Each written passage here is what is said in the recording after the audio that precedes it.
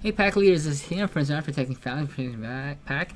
We get a uh, ETH USD setting that's doing steady. You can see that every single one of these is uh, profitable. This is on a live wallet here.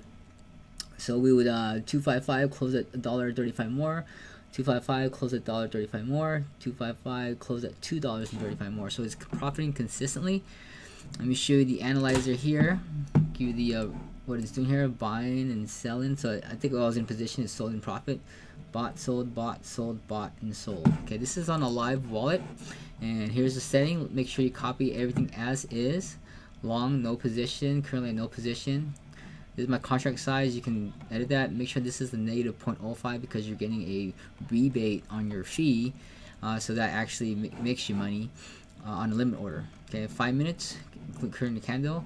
Make sure you have this minimum price to sell so it always makes it sells in profit. And um, there it is 9 1.02 RSI MACD settings positivity if you need to take your time increase the resolution and try it out for yourself. If you're interested in getting access to tuner the link is in the description below. Thanks for watching